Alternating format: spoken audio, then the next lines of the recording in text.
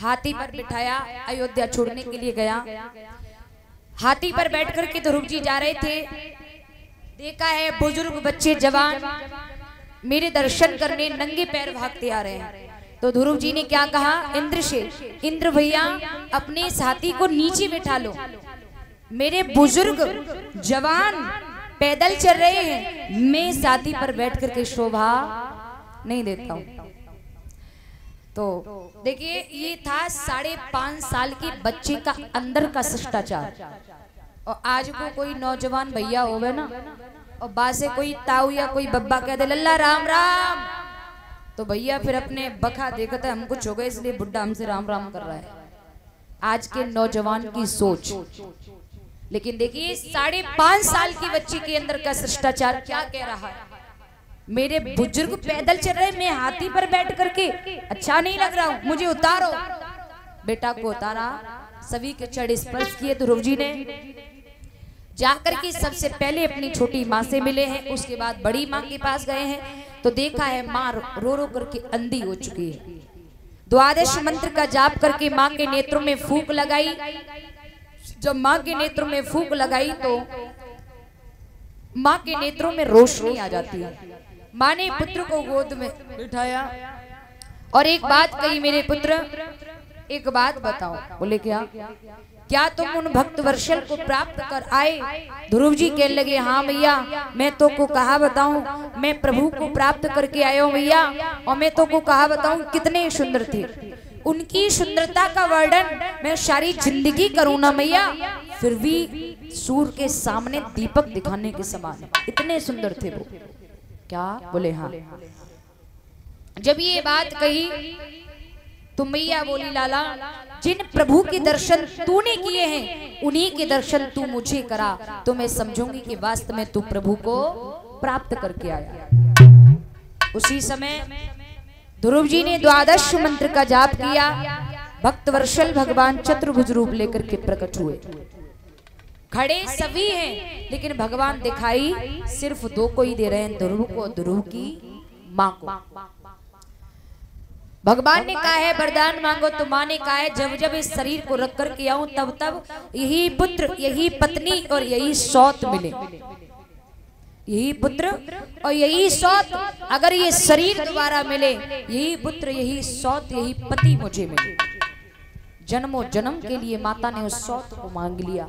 अगर आज की कोई मैया होती ना, और भगवान मिल जाते, और भगवान कहते, देवी, वरदान मांग ले। तो आज की मैया कहा कहती, अरे दाता, अरे ईश्वर सौतलिया को ऐसो कर दिए। जाने तो मुको चैन से नहीं रहने दो। लेकिन नहीं, माता ने क्या किया?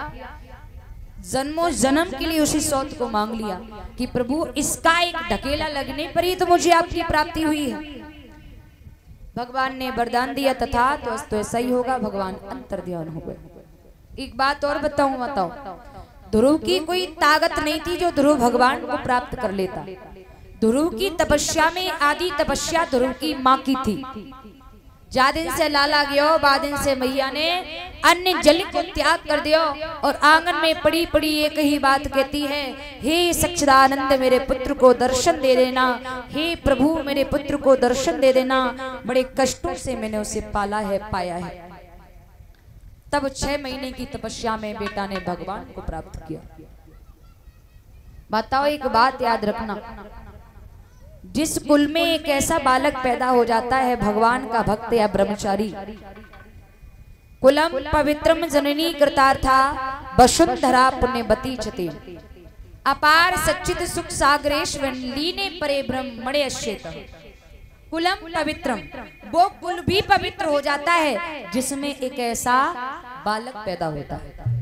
कुलम पवित्रम जननी कृतार था उस जननी की कोख भी धन्य हो जाती है, जिससे वो बालक पैदा होता है।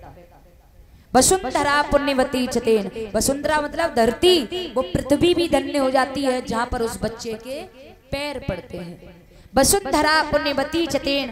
अपार सचित सुख सागरेश्विन लीने परे ब्रह्म मणि वो गाँव नहीं, वो क्षेत्र भी, वो क्षेत्र भी पवित्र हो जाता है, जिस क्षेत्र में ऐसा बालक पैदा होता है। जो बालक अपने से बड़े की सेवा, अपने से बड़े का सम्मान, बुज़ुर्गों की देख रेख माता पिता की आज्ञा का पालन करता है, वो ऐसे बालक के जीवन में नित्य नित्य चार चीज़ें बढ़ती हैं। अभिवादन शीलस्य नित्यम प्रदोपसेविन चत्वार तस्य वर्धंत आयुर विद्या यशो बलम। आयु, विद्या, यश और बल। ये चार चीज़ें बढ़ती हैं जो बालक अपने बड़े बूढ़ों की सेवा करता है अपने माता पिता की आज्ञा का पालन करता है या अपने से बड़े का सम्मान करता है तो उस बालक के जीवन में नित्य नित्य चार चीज़ें बढ़ती हैं।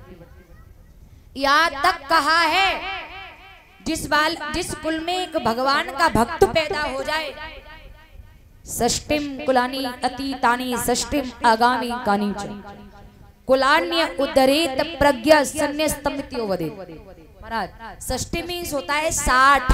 कितना? सा सात ना साठ षष्टि मीन्स होता है साठ। कुलानी मीन्स होता है पीढ़ी। षष्टिम कुलानी अतीतानी अतीतानी माने बीत चुकी हो। महाराज साठ पीढ़ी बीत चुकी हो। षष्टिम कुलानी अतीतानी और षष्टिम आगामी कानी साठ पीढ़ी आगे आने वाली। षष्टिम कुलानी अतीतानी और षष्टिम आगामी कानीच कुलान्य उद्धरेत प्रज्ञा संन्यास्तम इत्योपदे। साठ पीढ़ी पिछली साठ पीढ़ी आने वाली और एक पीढ़ी जिस पीढ़ी में वो बालक जन्मा है। जिस पीढ़ियों, जिस कुल में ऐसा बालक पैदा हो जाता है, ब्रह्मचारी, भगवान का भक्त या बड़े बूढ़ों की सेवा करने वाला, ऐसा जो बालक पैदा हो जाता है, वो एक नहीं, अपनी एक सौ कितनी हो गई? हाँ एक सौ इक्कीस। वो अपनी 121 पीढ़ियों को मुक्ति दिला देता है। मैं नहीं कह रही हूँ, प्रमाणित है। षष्टिम कुलानी अतीतानी षष्टिम आगामी कानीचा कुलानी उदरेत प्रज्ञ वदे। साठ पीढ़ी पिछली जो बीत चुकी है और साठ पीढ़ी आगे आने वाली और एक पीढ़ी जिसमें बालक जन्मा है 121 पीढ़ियों को मुक्ति प्रदान करा देता है वो बालक जिस कुल में ऐसा ब्रह्मचारी बालक पैदा हुआ हो, ऐसा भक्त पैदा हुआ, एक संत पैदा हुआ।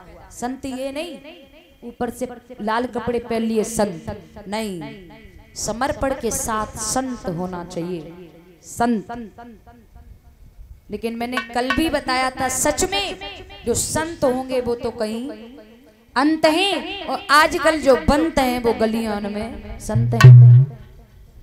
लेकिन सच में जो संत होंगे उन्हें उनके दर्शन आपको बड़े दुर्लभ होंगे बड़े कठिन होंगे। और जिस दिन आपको उनके दर्शन हो जाएँगे तो समझ लेना कि प्रभु ने भेजे हैं ये मेरे। महाराज ध्रुव जी को राजा उत्तान पाद ने अवधपुरी का राज्य दिया दोनों रानियों को लेकर के भगवान का भजन करने चले गए।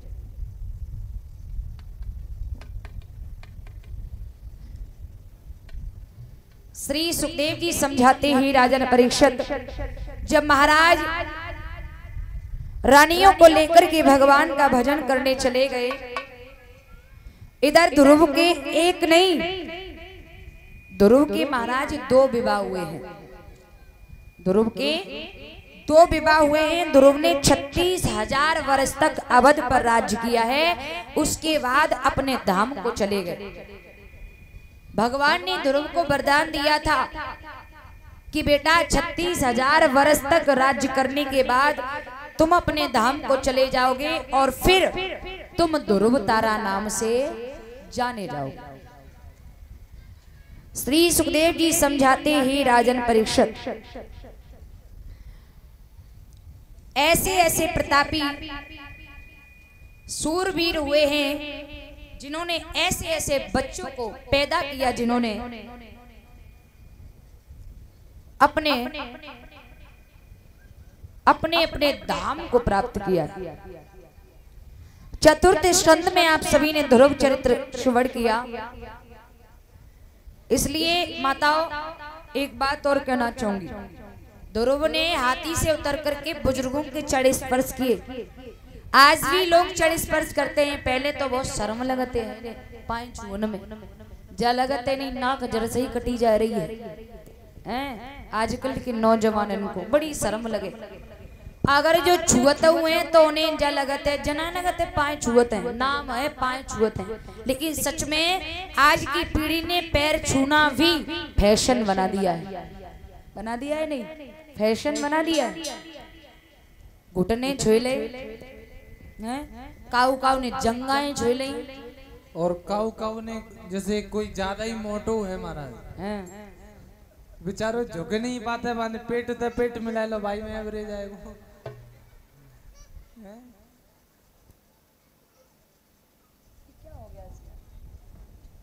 महाराज सही कह रहे हो है वो?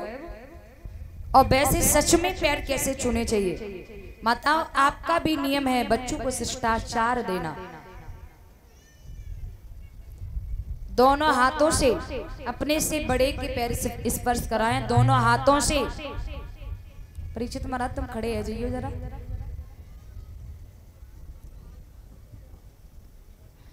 अच्छा सॉरी यज्ञपति महाराज, थोड़ा कंफ्यूज हो जाते हैं।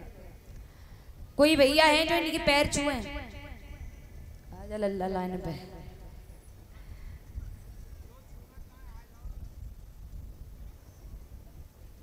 छुए ले अब देख का रहे हो। अब तो परीक्षा की घड़ी है तो छुओ एक दोनों हाथों से। हाँ। और कोई है?